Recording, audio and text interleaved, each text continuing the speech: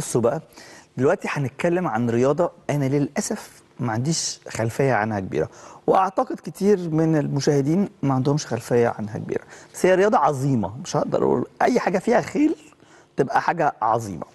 فخلينا كده نتعرف بقى على الرياضة دي والنهاردة اللي هتعرفنا عليها سيدة مصرية شاطرة جدا وبتركب خيل أو في مجال الفروسية من وهي عندها أربع سنين وهتعرفنا النهارده عن رياضة اسمها الكلا التقاط الأوتاد. ومعانا النهارده أستاذة آية عيسى مدرب وحكم دولي لرياضة الكلا التقاط الأوتاد. أهلا بيكي. أهلا بيك انت منورة. ربنا يخليك. من وانت عندك أربع سنين تركبي خيل؟ آه؟ للأسف. للأسف ليه؟ ده بالعكس. لازم تبقي فخورة بكده إشمعنى؟ آه لا هي جت صدفة خالص. يعني أنا أخويا الكبير بابايا ضابط جيش وده كان نادي الجيش اللي موجود جنب البيت نادي فرسيه القوات المسلحه وكان أخويا الكبير بي بيركب خيل برضو بالصدفة يعني. فلما أنا اتولدت وأول بقى أربع سنين ابتديت أروح معاهم فلزقت بقى في الموضوع okay. خلاص. لأن إحنا في الغالب في الفترة دي بنلاقي البنات بيتجهوا إلى الجمباز ال water ballet حاجات زي كده. أنا عايزة أقول لك إن أنا آه، ما بعرفش أجري. عندي 30 سنة. لو قلت لي قومي اجري من هنا لهناك ما بعرفش أجري لأنه ما عملتش أي حاجة. ممكن أجري زي الحصان بجد شبهه بس ما بعرفش أعمل أي حاجة أي رياضة تانية لأني ما خرجتش بره الحصان. ما أعرفش أي حاجة عن أي حاجة بره ال ال الحتة بتاعه حصان. واسطبل و box. آه. أنت حبيتي الخيل. آه طبعا. okay. الخيل من ال- الحيوانات الذكيه جدا البارة جدا وبحس إن هو حيوان عاطفي. ده حقيقة. لدرجة إن أنا برضو وانت هتصلحي لي أي معلومة غلط بقولها. ابتديت أعرف إن آه، آه، صحابنا الصغيرين أو الكبار اللي عندهم أوتيزم توحد أو بعض المشاكل أو مختلفين آه، لما بنعرضهم للخيل بيبقى في بينهم آه، تناغم زي ما بنقول. ده حقيقي؟ ده أكبر من كده كمان. طبعا ده حقيقي. آه بس كمان وصلنا لآخر آه عشر سنين إنه الخيل بقى بيعالج الشلل ال- ال- الدماغي أو الشلل ال- آه العضوي سواء رجل أو أي حاجة. إنه الحصان بنسبة كبيرة بيعالج آه وطبيعي يعني من غير أي تدخل من غير أي أجهزة من غير أي حاجة. أوكي. هو سبحان الله إنه ال- ال- ال- اللي عنده أو بيحمل المرض ده كشلل أو كده إنه بس بيركب على الحصان بيبتدي ال- آه، بس ال movement هيركب إزاي وهو عنده شلل؟ لا عادي بن بنحطه عادي جدا على الحصان. بيركب عادي بن بنأهله بس إنه السرج مثلا بيبقى فيه حزمه أمان. عشان ما يقعش. بالظبط سواء بقى هنربطها على الرجل على الظهر. المهم إن هو يحس إن هو قاعد وماسك نفسه.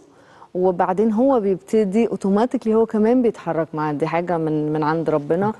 حضرتك بقى قيس عليها في كل الباقي سواء special needs سواء آه، ال- اللي عندهم توحد أي حاجة تانية هو خلاص بيتعلق بالحصان. طبعا الحصان بيحس جدا جدا جدا وأوفى بكتير جدا عن الكلب كمان. بجد؟ بس, بس آه طبعا. بس علشان حضرتك ما تقدرش تدخل حصان بيتك. آه هنحطه في الجنينة فين ولا فين؟ بالظبط. لا مش هتعرف. آه، مش هتعرف تقعد معاه أو تديله الوقت اللي بينفع تديه للكلب أو القطة صح. اللي عندك. فلا لا الحصان عالم ودنيا وبيخاف عليك جدا و... أنت عندك حصان بتاعك؟ كل حاجة آه طبعا. عندي اسمه- اتنين. اسمهم إيه؟ مروان ومراد. okay. إشمعنى اخترتي الأسامي دي؟ سبحان الله دايما الخيل بتيجي برزقها. والله زي ال baby زي البني آدمين. آه، مروان أنا حصاني اللي, اللي- عملت بيه ranking كتيره على مستوى الجمهورية وكاس مصر وكده كان اسمه مروان طبعا حصان الرسول عليه الصلاة والسلام والسلام. واحد من أسامي الخيل بتاعته مروان الأشهب ودي سلالة صحيح. رهيبة. فاسم مروان ده علق بقى معايا فخلاص بقيت اسمي مروان. والتاني؟ مراد بقى هو جه كده يعني جه يوم الصبح والله التسجيل قلت مراد خلاص. هي حلوة إنها أسامي عربية دي, آه. دي حاجة مهمة جدا. طيب خلينا نرجع مرة تانية بدأتي وأنت عندك أربع سنين وحبيتي الخيل والخيل حبيتك. آه طبعا. دي حاجة مهمة قوي. بعد كده دخلتي في رياضة ال... الكلة. الكلة اللي هي التقاط الأوتاد اللي برضو يعني آه، آه، اللي فهمته إن المصريين القدماء كانوا بيعملوا حاجة شبيهة ليها وده مرسوم على بعض جدران المعابد. هل ده صحيح؟ آه طبعا آه طبعا جدا. لأنه آه رياضة التقاط الأوتاد هي رياضة حروب. هي أصلا آم، الفكرة بتاعتها كلها أو الميكانيزم بتاع الموضوع كله جاي من الحروب. فطالما هنتكلم عن حرب اللي هو يعني هم بيقالوا إن اللي اخترع اللعبة أو هي ابتدت في شرق آسيا باكستان آه، الهند اللي هي الحتت دي. آه، فطبعا لما تيجي ترجع للحقيقة إنه مين في الأساس كان بيحارب زمان؟ آه المصريين القدماء. أما تشوف على الجدران والمعابد بتلاقي إن هم فعلا بيجروا بالخيل معاهم آه، رمح. كان عندهم العرب العرب العرب العربه الحربية كانت بالظبط. إحنا بس الاختلاف شوية إن لأ أنا بحارب وأنا فوق الحصان مش على عربة. عربة. طبعا هنا الموضوع بيبقى مختلف شوية من حيث إن حضرتك إن أنت الهدف المتحرك يعني الهدف اللي أنت هت هتحاربه هو الثابت وأنت المتحرك. ده بيبقى أصعب شوية من ال من ال من العكس. أوكي. ف- هي لعبة قتالية. آه هي ابتدت كلعبة قتالية. يعني هي فكرة بس جت لل لل- بس هي لغاية. دلوقتي هي فيها عنف شوية فيها آه طبعاً. سيف ما اشرحي لي بقى دلوقتي حاليا لعبة الكلة أو التقاط الأوتاد عبارة عن إيه بالظبط؟ بص اولا لازم تجري في أرض مستطيلة مش أرض مربعة زي قفز الحواجز أو زي بقية الخيل لا إحنا بنجري في أرض مستطيلة. بتجروا لا إحنا بنطير. آه مش. بنجري إحنا بنطير. فبيبقى في limits للأرض اللي المفروض تجري فيها آه، سواء آه، إنه minimum 150 متر maximum 200 أو بعد ال 200 يعني حسب قدرة استيعاب الأرض عندك. آه، بيتحط لك أهداف ثابتة في الأرض. ليها طبعا ليها طريقة معينة ومصنوعة من حاجات معينة بتتحط في باكت معين محفور برضو. كل حاجة ليها حسابات بتجري سواء ماسك سيف أو رمح ده أو ده مش الاثنين آه، ده ليه بطولة وده ليه بطولة. بطولة للسيف وبطولة بالظبط أنت. متخصصه في الاثنين آه طبعا. هو لازم تلعب الاتنين. لازم الاثنين الواحد يلعب الاثنين بالظبط. يعني هي الحلقة الواحدة في الجمهورية بيبقى ليها يومين يوم السيف ويوم الرمح.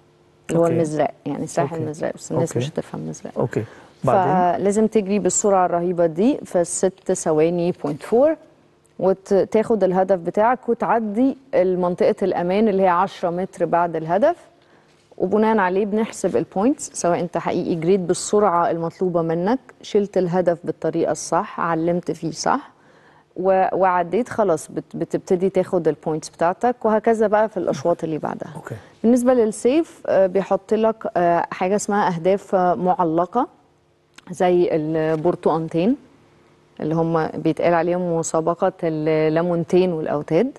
بس هم بيبقى برتقان مش ليمون. وبالنسبة للرمح بيبقى حلقتين ووتد. لازم بقى بتعدي تقطع البرتقانة الأولى والثانيه تقطعيها إزاي؟ لازم أقطعها نصين. لا بتتكلمي بقى والله.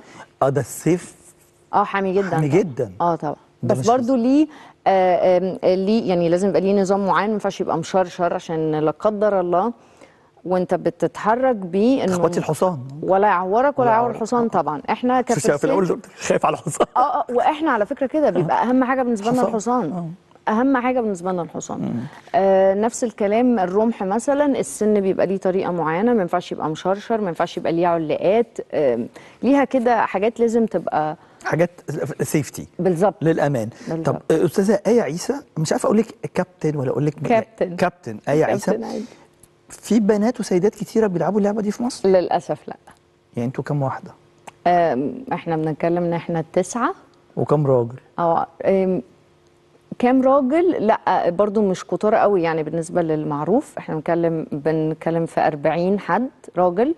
كنت بقى عايز أسألك لأن اللعبة دي لعبة إلى حد ما حربية ولازم آه يعني حتى ال- السيف اللي أنتوا بتبقوا ماسكينه الكلام ده فلازم تتلعب في أماكن معينة ومحددة عشان كده هي مش منتشرة؟ لا لا لا هي آه، هو طبعا لازم يقنن لك إزاي تقدر تطلع السلاح ده لأنه في النهاية ده سيف سلاح. حقيقي. بالظبط ده سيف حقيقي وممكن حد لا قدر الله إنه يحصل له حاجة بيه. فاللي ابتدوها في مصر نوادي الجيش حرس جمهوري آه، والشرطة. شرطة طبعا.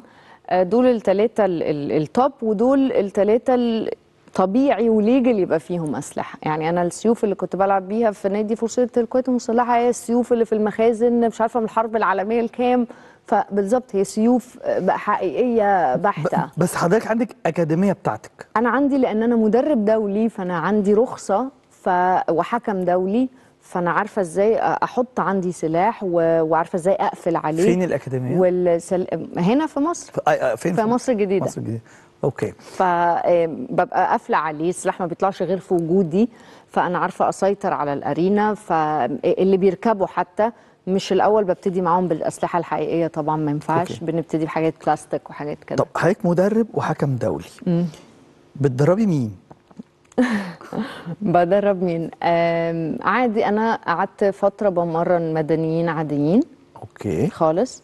آه بعد كده آه بقيت مدرب المنتخب كانوا ضباط كلهم ضباط و- أو صف أو آه آمين يعني. رجال. آه. ما عايز أتوقف عند النقطة دي.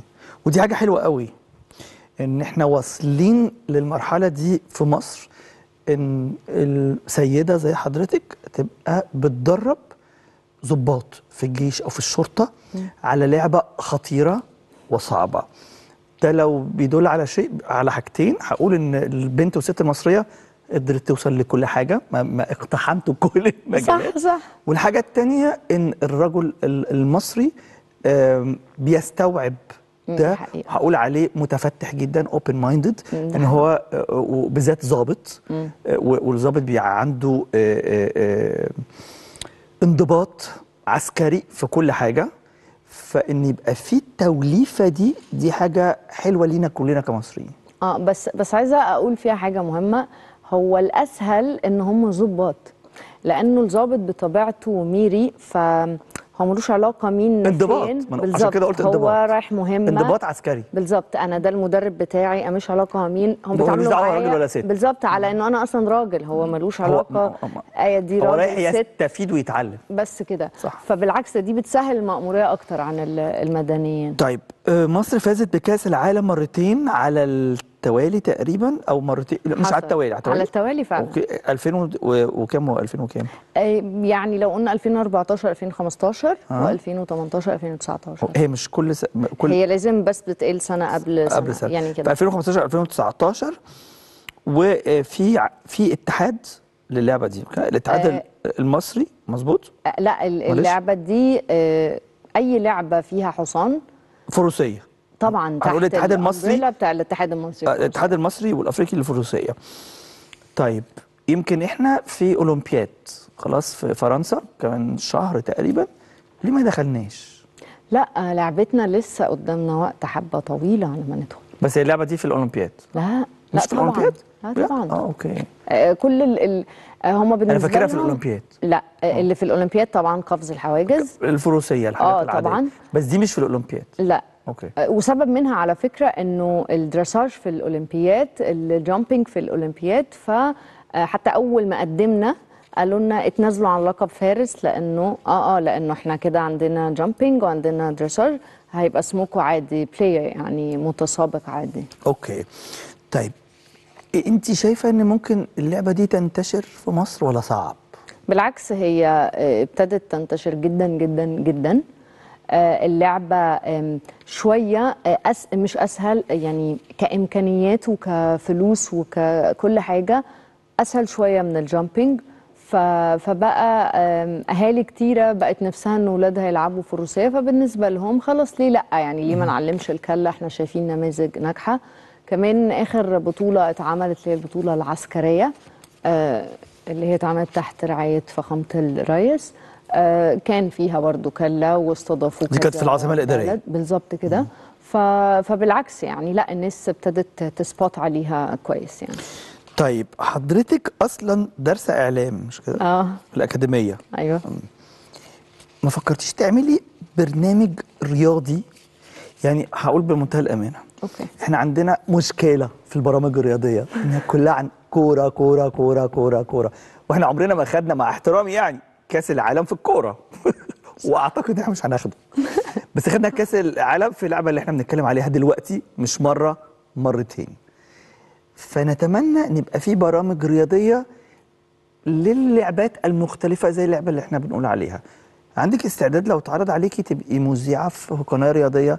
طبعا أنا حاولت أصلا يعني حاولتي؟ أنا والله أنا حاولت فعلا. آه، قبل ما DMC Sports تقفل آه، كان نفسي أبقى هناك بعمل برنامج آه، عن الفروسية أو عن اللعبات اللي هي الشديدة زي لعبتي دي اللي محدش عارف عنها حاجة.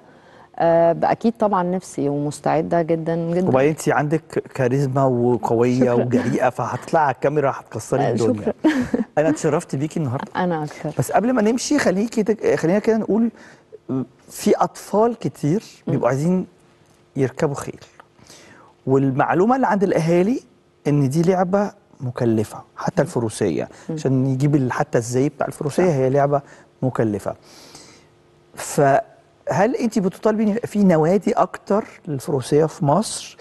نعمل إيه عشان ننشر؟ لأن كمان دي رياضة راقية جدا وبتعلم أعتقد الأطفال الديسيبليند التهذ يعني إنهم يبقوا مهذبين جدا. صح. والتعامل مع الحيوان زي الحصان ده حاجة مهمة جدا. نعمل إيه عشان ننشر الفر- الفروسية في مصر؟ هو هي الرياضة مش مكلفة يعني إحنا نحاول بس نوصل للأهالي إن هي آه، في البدايات عشان تخلي ابنك يبقى متعلم إزاي يركب خيل ويتعامل مع حصان ويعمل كل حاجة بتقول عليه. في البدايات هي مش حاجة مكلفة خالص عادي بتروح session by session لحد ما تحس إنه ابنك بقى قادر. وممكن تخليه خلاص يطلع بره الموضوع وانس إن هو عارف يركب حصان. فبعد كده بقى بيروح مع صحابه حتة يتبسط آه، كده. لكن لما بقى نقول هو خلاص هيبقى متخصص فيها أو هيدخل فيها بطولات لا بقى هنا هنبتدي هيبقى لازم يبقى فاهم إن لكل حاجة أكيد ليها آه، صحيح. ليها رد فعل يعني. صحيح، صحيح، والحصان لا حاجة كبيرة فعلا ده حقيقة. صحيح. انت النهارده شرفتيني ونورتيني شكرا. وفخور جدا بيكي. شكرا. وببنات وستات مصر اللي هم اقتحموا كل المجالات. وبيثبتوا وجودهم جدا جدا. بشكرك. أهلا. وسهلا. بيكي بشكر كابتن آية عيسى مدرب وحكم دولي لري- لرياضة الكلة التقاط الأوتاد.